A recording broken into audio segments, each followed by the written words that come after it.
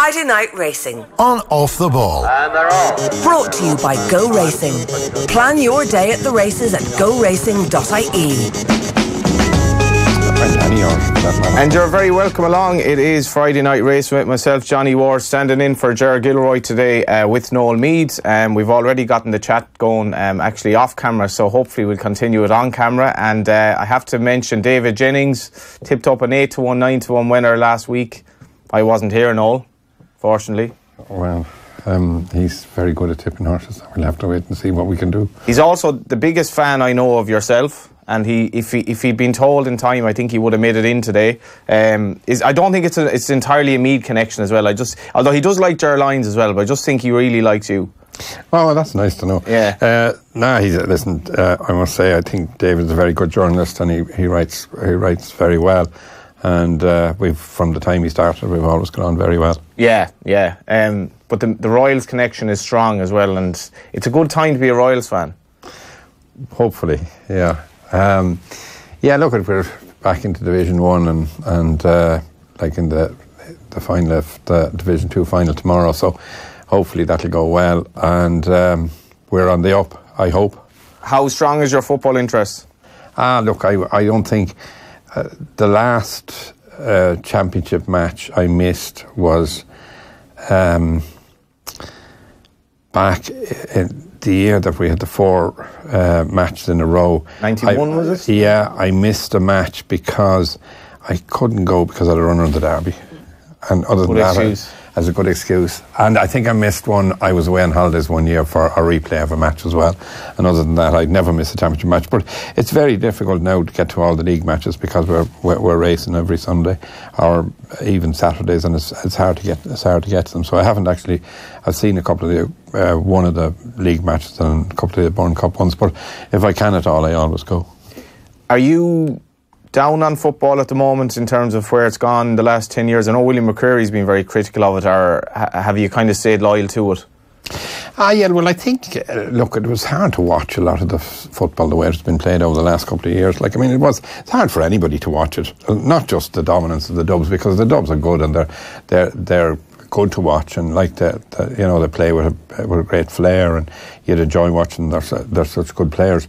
But that defensive game that came in over the number of years there was very difficult to watch. Like, it was, it was terrible stuff. Did you play yourself? there's a funny story about that. I've told it a few times. A few people have told it, but the first time my mother came to see me playing football, we were playing in a in a. I actually think I've heard the story. Well, then maybe I shouldn't tell it, but it, but it, it sort of ends. It tells that it, it, it, it answers the question as to how well I played. Um, she came anyway to see me playing on a, at a sports day in the neighbouring uh, parish, and that evening when we were having our tea, she comes and she said to me, "Noel, remember when I said to you to keep away from the ball so you wouldn't get hurt?" She says, "I didn't really mean it." So that was the end of my footballing career. Uh, we're uh, always in association with GoRacing.ie here on Friday Night Racing.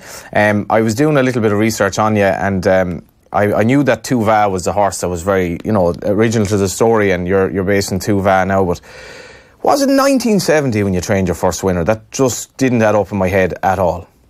1971, I think. Even that doesn't add up. Yeah, No. 1971. Uh, yeah, uh, I I actually had a license in a permit in '69, and What uh, age are you? I am 68. Yeah, so that So I was very young at the time. Teenager. Yes, and um, as a pal of mine, a, a neighbour of mine, a farmer, uh, dairy farmer that was beside me, and um, we bought a, hor- a horse. The, the first horse we had that won was Tu Va, but we actually had a one or two before that uh, that was weren't very good. Uh, not saying that Tu Va was that good, but he at least You he, rode it he won- I rode him to win a race in Wexford, uh, maiden hurdle in Wexford, an amateur maiden hurdle in Wexford, in which he beat a horse that was ridden by none other than Dermot Weld. I was always very proud of that fact. I doubt Dermot mentioned it. No, he Yeah. didn't. he didn't. Yeah. And the other time, actually funny, I was in uh, Mouse Morris's house one day, and he had a photograph up on the wall of he beating me in Galway in an amateur handicap hurdle. He was riding a horse of, of Peter McCreary's, and he beat me a neck. On I was on Tu Va, and uh, he had it up on the wall, and it was, you know, one of a very ordinary race. And I, for considering the great winners that Mouse rode and the great winners he trained and whatever, I couldn't believe this was up on the wall. But he he was joked with me. He says the reason it was up there was because he had me behind him, and that was where he wanted to keep me. You know, so I wasn't much of a jockey either. Now, to be honest. Do you remember much about the Wexford race? Yeah, I think he probably ran away with me. Um, look, uh, he was. Uh, he kind of. He kind of. Um, Ah, I do remember it. It was a great day, you know, to ride a winner. But he kind of, uh, we, we, fancied him a couple of times, and he was second. He, he was a great horse to finish second. But he, he the, the time before was the time that Mouse had beaten him in Galway. And we, when we came back from Galway, we decided we'd give him a break, and I gave him a couple of weeks off. And I only had him in about two weeks, and I didn't think that he would be. It sort of opened my eyes about training horses. When he came back in, he was fresh and ready, and he was he he bombed home in in Wexford that day what was your kind of eye for a horse or in terms of training at that stage when to know you, you obviously had a handful of horses at most. How was this horse? Is he ready? Um, and it must have been learning on the job as a very young trainer. Absolutely. It was like i mean you know it was it, i used to have uh, a couple of racing ponies. And uh, actually Raymond Carroll, if anybody remembers me, he's Gary's father, used to ride the ponies, and another guy who actually ended up riding a Gold Cup winner and riding and riding a um, national winner, John Burke. He went to Fred Rimell. He used to ride the ponies at the time, and uh, we, I sort of started off at that, and then moved on when we got onto the to the racehorses then. But it started off with one, and it was really trial and error all the way because I never I rode out uh, for a you know a I suppose, uh, 12 months in uh, Bryce Smith's, Helen Bryce Smith's uh, mother more than her father because she was more the trainer than her That's father. Declan's really. mother, is it Declan Declan, Declan's mo- mother, yes. Who's the um, leading most, I think, point to point lady amateur rider. Yeah, she was a brilliant rider. Like, I mean, Helen was a very, very good rider. Mm. And, you know, Helen has only stopped riding in the last year or two. I was talking to to uh, Daisy about it the other day. He, he, she, and the reason she stopped was I think that she just she, she's Helen is a good age. I don't I won't say what age she is now, but she's a fair age at the moment, and I think that the reason she stopped was that she just couldn't see maybe as well as she could or something like that. It was it was quite amazing actually why she why she rode for so long. What was your racing background? None, absolutely none. In fact, we were farmers, and uh, my father was very anti-horse, and and. Uh, really felt anybody that had anything to do with horses went broke because the only connection he had with it was a brother of his, Jack, uh, who was Jack was good at the drinking and good at the racing and all that, and he went through every penny he ever had, and. Uh, my father had no time for horses because of that, you know. Yeah, had you an alternative idea what you might do, or? Ah, look, I was I was brought up to be a farmer, mm. and and and I came home from school very young, I was, I was, uh, my father got ill and I was home when I was 16 and running the place. And uh, he, like, from, from very early on, I was, I was, I was running the place. So I started, when I started with the horses, then he, he, he got better. Uh, after a couple of years, and he came back into the into the business again, but not not very strong. So I still more or less was farming, but once the training got going, whereas he never stopped me, uh, it it sort of ballooned quick enough, you know. What was the landscape like back then as a young horse racing trainer? I don't think there was anything like the amount of uh, people from the outside coming into it at that stage. You know, anybody that was connected in racing was was more or less in racing, and and there were very few people that sort of came along that weren't in racing. I, I, having said that, now Jim Bolger started around the same time as me. He had a farming background as well. Yeah, Jim. Jim was into show jumping more at that stage, and and and, and uh, well, I think he started near enough around the same time. Mm. And how did you finance it? Well, at that time, uh, we hadn't a tosser now. To be honest with you, not a tosser. Like Tu Va cost a hundred quid. So we had fifty apiece. That was that was the price from in Goffs. He was he was a, a, a, a sold by Buster Harty, uh, John Harty's uh, brother and and and uh, his uncle and, is it? Yeah, Eddie's uncle yeah. and, and and Eddie and old Eddie's brother and and uh, he was he was pin fired and he'd won on the flat for them and uh, we bought him for like with pin fired legs, which I suppose we didn't know that much about at the time, and it just um, he was lucky. He was he, he stayed right. I suppose he probably stayed right because. Uh, he was in a small yard and we were able to look after him really well and he spent a lot of the time in the, under the hose and this, that and the other. But he, he, he, he never actually gave us any leg trouble. Um, but uh, Wa- Was the farming sort of sustaining it at that stage in terms of getting money? Oh yeah, well at the time, at the time uh, when horses went to the races, the uh, uh, racing board at the time had done a deal with uh, CIE. It was free transport, so if you entered a horse and you had him in, the racing board actually paid for him to go to the races. So CIE had a contract to bring the horses. So in actual fact, once you had him entered, then you were brought to the race. So we went racing care of Save CIE. some amount of money now. Yeah, Absolutely, and, and like you loaded up in the horse box and away you went, and that was the way we went. And and, and for years, uh, with uh, um, Larry Oakes' father was a fellow called Frank uh, uh, Larry or Frank Oakes' His father was a guy- called Larry Oakes. He used to drive a, a CIE box, and and uh, Larry used to pick us up and bring us off the races, and it was gas. We'd stop on the way home and. Everybody had a drink, even the, even Larry and everybody had a drink on the way back, and and, and uh, we'd arrive back and and uh, we went all over. the- We toured Ireland in the CIE box. Fra- Frank Oakes was in the news recently because he's still riding out at 77, and I think he's a couple of horses uh, still, uh, one of whom won Mountain Coral. But who were your early riders in those days? Ah, well, at the time, like the the kingpin was Tommy Carberry, Bobby Coonan. They were the king, king of the jump the jump men at the time, and uh, on the flat you had Johnny Roe and um, Wally Swinburn. Like, well, Wally mightn't have just have might have been a year or two after that. He came over to Ireland to ride for Dermot Weld. And it would say in your early days you, you focused primarily on the flat. Well, it wasn't so much that I, I focused so much on the flat. I focused on anything uh, that anyone would give me. And uh, like when I started off with one, and then uh, he won a couple of races, and then a couple of people asked me would I train horses. So I think the first year I had four, and the four of them won. And then it just built up from there. And very early on, I got a very good filly called Sweet Mint, uh, who ended up winning at Royal Ascot. And uh, she won the Cork and Orrery, which is now the, the the big six furlong race on the on the Saturday, Yeah. and and uh, it because of that I got more flat horses, and it was it probably was a better way of, of financing the thing for me because if you bought um the the way it worked was I'd buy probably 20 yearlings every year, maybe 25, and uh, at the lower end of the market. I never really bought uh, sprinters or sharp two-year-olds. I always bought horses that would stay, you know, that I would buy milers or mile and a quarter horses or even mile and a half horses, and that they were a little bit bigger because if they weren't good enough to be uh, to go on the flat, they could go and, and run over jumps. So if you bought a jumper and he was slow, he was a hunter. If you bought a, a flat horse and he was slow, you still had a chance he'd be a jumper. So, and they were always very saleable. So it, it, it worked it worked very well, and that was the format really.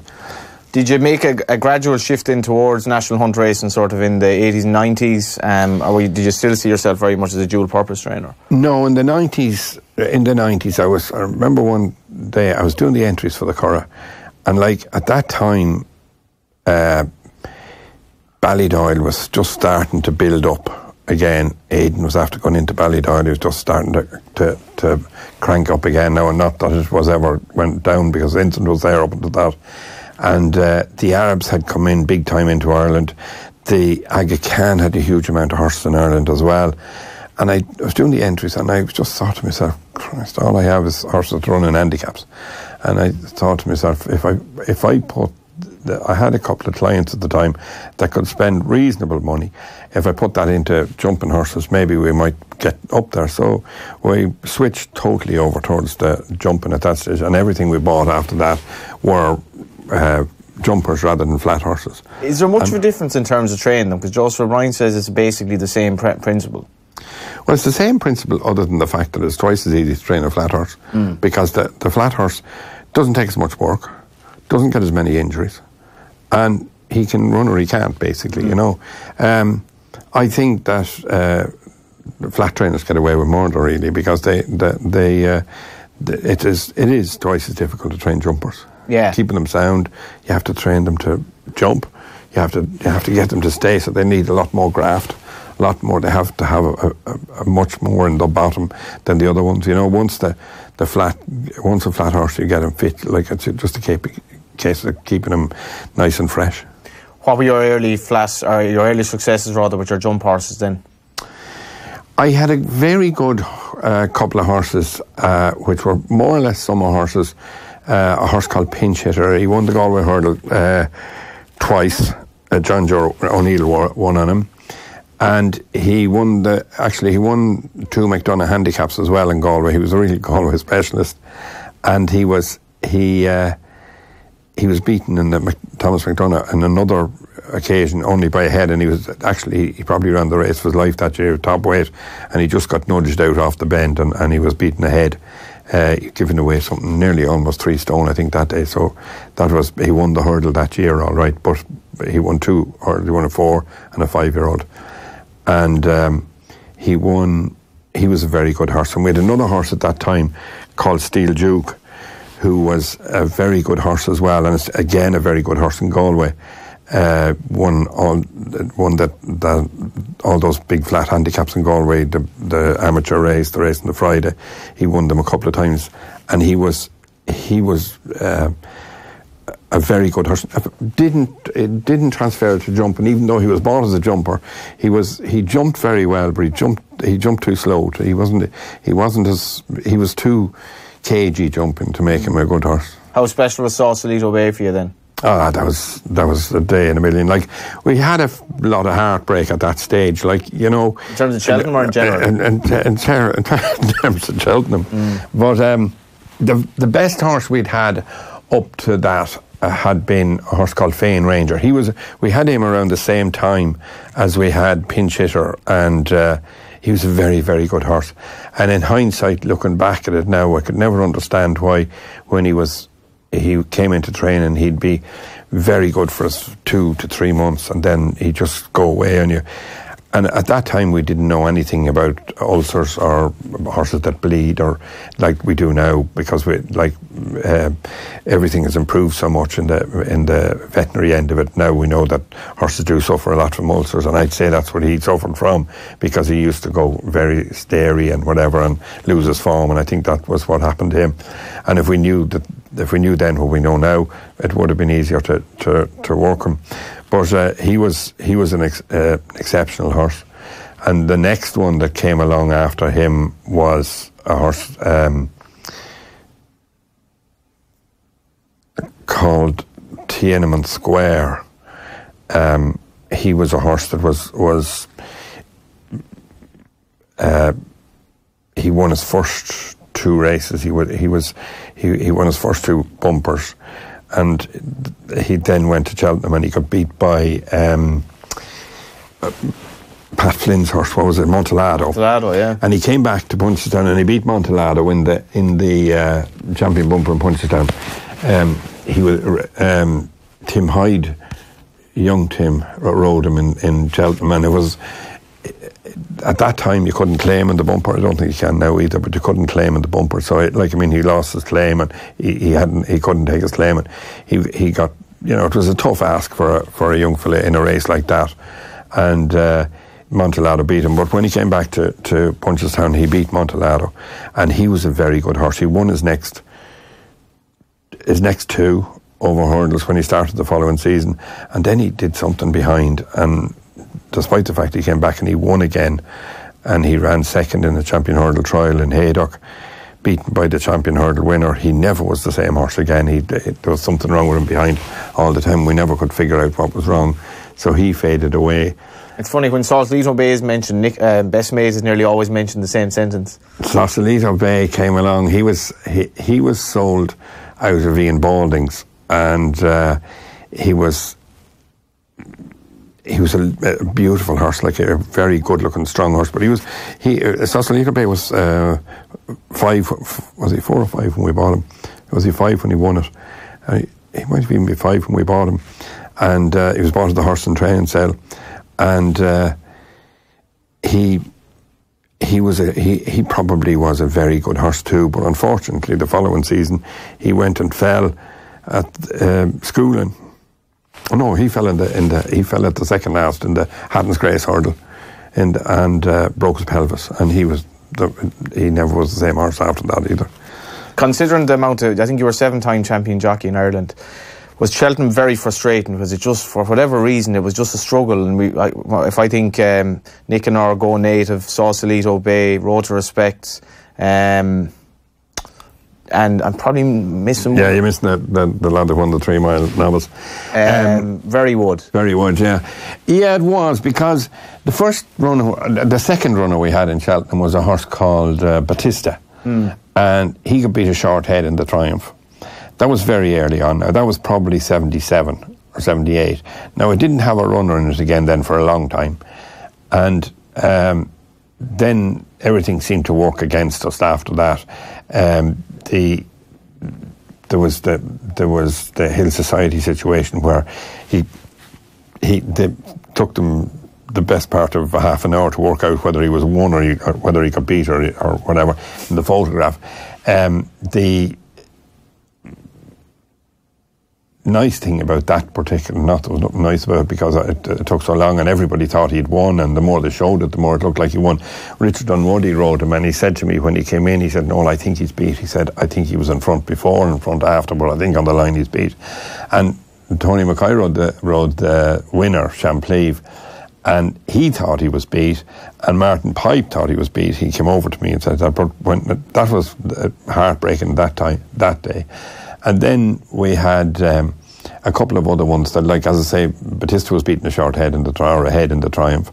He was beating a short head in that. At this stage, we hadn't had a winner, and it seemed to be every year something. Where we had another horse going very well in the Triumph uh, the following year, I think, and he got he got. Uh, he- he was between the last two hurdles, just going to the last hurdle, going really well. For some reason or another, he put his foot in the hole and he fell on the flat.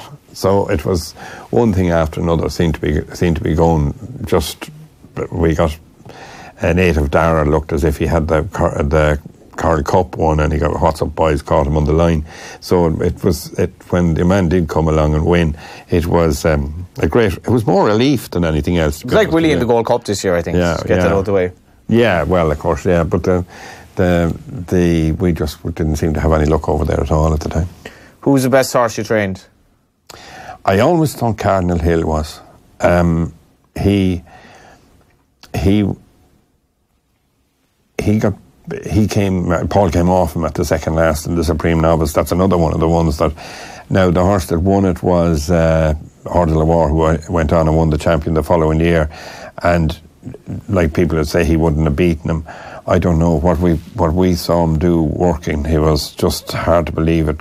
We had a very good horse at the time called Sunshine Street, who was four, fourth in the Epsom Derby, and believe me, I know the other horses are a year older than him, but if Sunshine Street, Sunshine Street was beaten three lengths in the Epsom Derby, Cardinal Hill would have won the Epsom Derby. I was uh, a leg tied up. He was that he was that good a horse. Yes, Harchibald, um, who was one, definitely one of my favourite horses and one of many people's favourite horses, he didn't win at Cheltenham. But every time you know you think of him now, it just brings a smile to your face when you think of Harchibald and those days and the glory days of him and Brave Inca and obviously Hardy Eustace, the, the, the different characters involved and just the epic races. Yeah, you know that, that race, and Paul actually says it at the time. You know when we, when when we look back at that particular race, and he travelled so well. I was watching it with Desi, and he sort of half uh, said, "Well done," halfway up the run in, and uh, then the next thing he'll come back up. You know, when you think of the two horses that he was up against that day, he couldn't have he couldn't have Ah, m- two m- bumped into two two hardier horses like Hardy Eustace and, and, and Brave Inca were two hard nuts, and he was stuck in the middle of them. Um, look at Archie was a great horse. He had. He was misunderstood in a way, wasn't he? well, he probably was. I, maybe I misunderstood him a bit too. I, I used to stand up for him all the time and got annoyed with people when they called him this, that, and the other. But what people didn't know about Archie was that he was that he had when he came from France originally, he he didn't get home and. I sent him down to Ned Going on the car and I said, Ned, I want you to hob them. And he said, There's nothing wrong with him. And I said, Well, if if you don't, if you can't, uh, he's no good the way he is. So he sent him back up and he didn't do anything to him. So again, I sent him back down to him again and we did him, we hobdayed him anyway. And that changed him. He just with that. But he always struggled a little bit with his wind. And when he came under pressure, he came, he struggled. And, and its head used to, to come up. But like when their head comes up like that, generally it means that they're, they're, they're, they're trying to get the air because they breathe through their nostrils and they're trying to get their head up straight out in front of them to let the air flow in. Now, having said that, after a while, I presume when they realise this is going to happen, it makes them a uh, mental thing. mental thing with them, you know. And uh, he certainly he he when he was in front for any length of time, he wasn't crazy about it. But I, I'll never forget. He won. He won two. uh, Um, Fighting fifths. Fighting fifths, and he won two Christmas hurdles in Kempton, and he was beaten in a Christmas hurdle in Kempton in a photo finish, and Paul said to me that, like when the ground was sticky, he was really struggled, and uh, Paul said to me after, I, I believe it or not, uh, I won the Kempton. I won the race in Kempton four times. The, the Christmas hurdle in Kempton four times. I've never been in Kempton, and I won the Fighting Fifth three times, and I've never been in Newcastle. What's on the day in Newcastle? You just Uh, Fairyhouse is Yeah. on that day, the, the big meeting in Fairyhouse, and I just didn't go. And uh, Go Native won it as well with Davy Condon, so I didn't go. But uh, the day he got beaten, and um, uh, Tony McCoy beat him on, on, on a horse of, of Gifford's. Uh, Straw Bear. Straw Bear. And he, Paul said to me after, he said, you know, I, I was a little bit annoyed with Paul after the race because didn't, he didn't hit him. Or, Would you ever be annoyed at Paul? Oh, I will. Oh, oh. what do you mean? Could you, could you ever be annoyed with Paul? Jesus Christ, he put you to the penny a collar sometimes. But anyway, But um, anyway, he said to me, and I'll never forget it, the following day we were in Leopardstown, and I said to him, Jesus, why didn't you hit him? And he said, uh, and there was a tear in his eye when he said it to me. He said, sure, he said he was doing his best. He was doing his best, and and uh, he's like he actually said he was struggling the whole of that race. He just he was he couldn't get out of the ground, and he said to Ruby halfway down the back, whatever I don't know what Ruby was riding. He said halfway down the back, he said, "I've no chance here." He said that, but he ended up getting just getting touched off. But uh, I'll never forget him saying to me, he says he was doing his best. talk about Paul Carberry and just uh, the talent that he had. Yeah, look, he was uh, he was. Uh, there's no question or doubt about it. He was a genius. Uh, he he he could get horses to do things that, that a lot of people couldn't, and a lot of people used to used to say, "Oh, he sits too quiet and this, that, and the other." But Paul would be squeezing and squeezing a long time before he'd ever go for them. Like I mean, um, oftentimes I'd be watching him riding a horse, and people standing beside me think, "Oh, he's going real well," and I'd know well he wasn't going well at all. That he was just actually uh, out, and when he was when Paul went for one, he usually was nearly that was the end of it. You know, when when he went for for broke, he was usually gone. But um, yeah, I just think if if uh, if things were back again and he had another run at it, he'd do a better job. How- Uh, uh, Or was that just part of his genius? Ah, maybe it was, but I just think that he uh, he could have concentrated more on his life in the in the saddle, and, and if he did, he would have. He, like he was a brilliant rider, and he had he he It's a very short spell that they're riding for. Uh, if he had the dedication that Nina had, I think he would have been a better rider. He, like he was a brilliant rider, but he, he could have been a better rider. how would you sum up Nina's career? Ash Nina was like uh, Nina is just special. Like she concentrated on what she did, and she gave you her best all the time, whether she was working in the yard or looking after the, looking after horses or you know riding horses. She was just a special. She's a very special lady. You've you've had some great jockeys in your time, and Sean Flanagan has come in, and um, I think from left field. I remember Sean used to ride a horse I was involved in. I remember he went to America, and it looked like his career was kind of all up in the air, and he came back, and we've had him on. I remember he, he went up to your place, and we didn't really know how it was going to happen, but it's, it's turned out unbelievably well. Yeah, he was. I suppose, to be honest, he was lucky uh, the way it happened uh, to be there at the time. But what had happened was Sean came in to me in the middle of his problems when things weren't going right for him. And let's face it, you can't win races unless you're on the horses. Like, uh, ask Ruby uh, what's the se- secret to success, and Ruby will tell you getting on the horses. Like, it doesn't matter if you're riding Kauto Star and you're uh, or whatever horse it be, like Kauto Star, you have a better chance of winning than the fellow that's riding the other one. One thing leads to another, so it gives you confidence Absolutely. you know. But Sean had come to ride out for us, and he was he was. Um, at that time, Paul was there, and, and there was a few more. I think Davy Conn was probably there as well, and a few more. And there was plenty of people around. And he sort of he he was a bit lost, and he had no place to go. And he asked, could he come and ride out? And he came and rode out once or twice, and he or uh, once or twice a week. And he I had noticed him and I watched him after that and I watched him and I, I sort of thought this fella can ride all right. But I had no place for him at the time. And then he, uh, it just happened that when he came back the next time, that I had remembered him and I had been thinking about him. And I said it to Paul when he retired. I said, What do you think of this fella? And he said, uh, Well, he said, I've never ever seen him do much wrong. He mm. said, and he's tough and he's uh, and he's slotted in really well and it seems to be getting better and better with us all the time because he works at home with us and he's there every day and he's he's he's worth listening to when he says something like you know if he says he thinks this should go this way or that way or you know maybe he's getting he's not getting enough work or he's getting too much work. He's he's he's worth listening to and he's he's he's has a good opinion on what he's saying and he doesn't say too much either you know he's he's it's easy to talk to him uh, just reflecting on Cheltenham this year, Road to Respect could have gone both routes. He ended up running in the Ryanair, and I was watching the race, and I thought it was the third or the fourth last up until then. I thought this horse is going to win. Missed one, and then was a gallant third. Yeah, I was very disappointed now, to be honest with you. Um, but it was my it, it, was my idea and Sean's to run him in the Ryanair. There was no, there, it wasn't it wasn't Michael O'Leary that pushed us that way. It was we we decided uh, from last year, we felt that he didn't get home and that he didn't stay last year, and that uh, his best chance of winning in Cheltenham was going to be the Ryanair. Um, and like you, I thought uh, he, at that stage he had a great chance, but he did actually walk through the, the third last. Now, look, did it get him beat? Well, it certainly didn't help him. Mm. You can't like yeah, if, if, he fell at the if he fell at the third last, everyone would have said he would have won. Mm. No, he didn't fall, but he he did walk through it, and it took quite a bit out of him. He's only beat three lengths.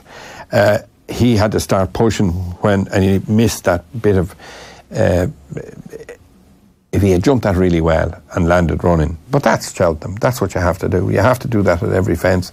That's what championship racing is all about. You have to be good at every fence and you have to be good. That's why some horses are better than others. How do you get on with Michael and Eddie? Brilliant. Mm. Brilliant. Uh, they, they, uh, I must say now that I find them uh, great. Mm. And just, uh, I suppose, uh, all their horses are in Ireland as well, which is, is if they weren't involved in Irish racing, it'd be a strange enough landscape in terms of the quality. Everything would change, really. Yeah, look at over the years, people have come and gone, and look, who's to know? Michael is he's a fabulous supporter at the moment, as is uh, JP as well. Mm. But like, if things can change, you know, and things could change. But but at the moment, uh, he's put a lot into it, and Eddie is a fabulous judge he's I, I don't think I've looked in terms of specimens or in terms of form of, of horses of, of, of buying horses. Mm. Um, Mags O'Toole and himself will uh, look at every horse at every sale that they go to, every horse, and like Mags will have her say, but Eddie will be the one that'll that'll uh, make the final decision. And I've I've looked at horses with a lot of people over the years, and I've and uh, I have been amazed at how fast and how quick he can be and how his, his eye is so, so quick at, at looking at horses. Like it's his life because he makes his that's where he makes his own living out of is buying and selling horses. So he's he's very quick. And when you see their horses walking around in the in the in the ring. The swagger and the beauty. Yeah, you just they're just different. They're different because they're bought they're all bought like carbon copies basically. They're they're big, strong, chasing type horses. And and uh, with a good swing to them and, and, and the scope, they all have plenty of scope. Who's the best looking horse you've trained? The best looking horse? Well, I don't know what the best looking horse is. Hard he lies in the eyes of the old. Yeah, look at Archie was a lovely horse, and so was so was Cardinal Head was a gorgeous looking horse, and and Road to Respect is a lovely looking horse, But uh, the best looking horse I'd say we have in the yard at the moment is a horse called Valdu. He's a beauty now, an absolute gorgeous looking horse. So he is. Hopefully next season when he's jumping fences, he'll be a good, a real good horse too. We'll talk to Noel about his runners over the weekend. He's more flat runners actually than jumps runners this weekend, which shows the, the dual purpose nature of the operation. But we'll also go through a couple of races briefly uh, over the weekend, starting off with the Lincoln tomorrow at Doncaster. Have you ever had a runner in this? No, I haven't. Yeah, it wouldn't be. It's interesting. Ado McGuinness is a horse going over tomorrow. Um, that Saltonstall, ex Michael Halford, uh, has been quite well backed. And Ado's had a great Christmas or great winter rather. Yeah, his horse has been flying. He's been he's been he's been. Uh, Ado's been flying on the all weather in Dundalk. It's, it's it's he's got a good handle on it now, and he seems to be have it well sussed out. He's he's uh, we're bumping into him this evening now actually, and with with uh, he's a filly that won very well up there uh, early on or two me- two meetings ago, mm. and we beat her the last day, and she's in the same race as we were in with Cheese Diesel this evening. So I'd say she could she could be thereabouts. Yeah, um, I'm going to tip up South Seas and the Lincoln tomorrow. There's also, uh, I suppose, the track with which Noel is very much most remembered is Navan, his local track. Uh, I think people would have blindly backed his horses down the years there. We've the Cork Stakes at 250 a cracking race and all, really. Son of Rest running against uh, Smash Williams and Sergei Prokofiev. I don't know if you've had a look at it, but proper sprint racing. It is actually the Cork Stakes, uh, but takes place in Navan tomorrow.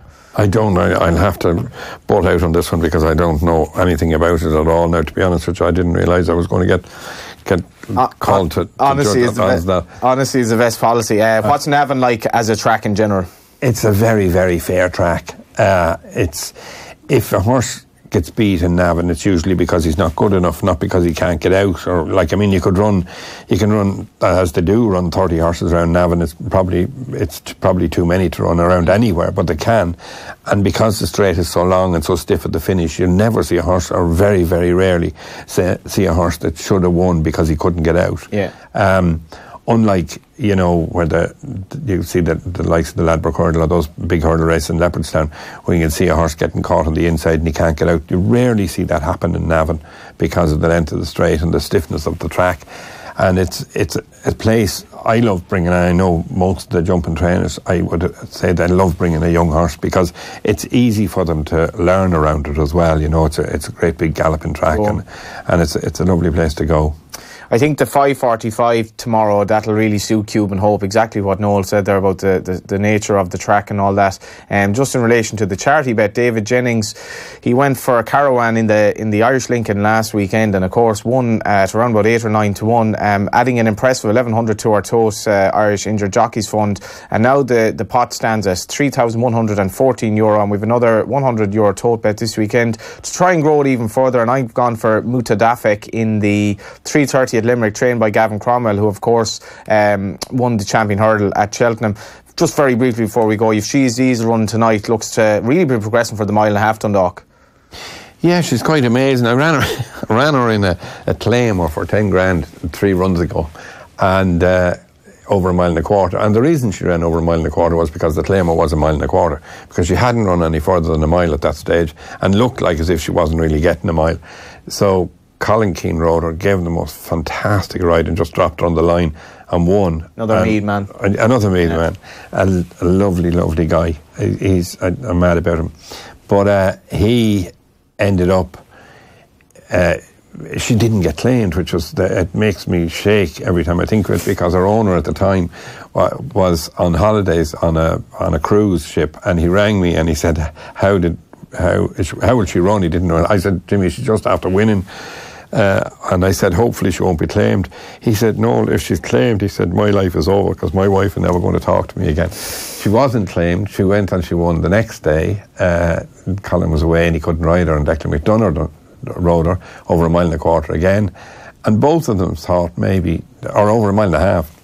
Uh, was it a second? No, then the mile and a quarter. Mm. And and then uh, both of them said, you know, I think she'd get further. So we tried her a mile and a half. Colin came back and rode her again in a 26,000 pound race and dropped her on the line again and won again. So she's run three in a row now. Every and, chance uh, tonight? And every chance tonight. She's absolutely bombing. Uh, she's gone up, obviously, she's gone up a few pounds all the time.